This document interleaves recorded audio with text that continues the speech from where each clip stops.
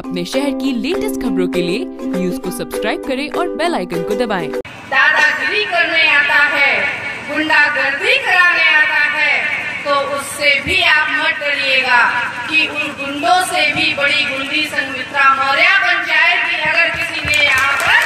सम्मान मान सम्मान स्वाभिमान के साथ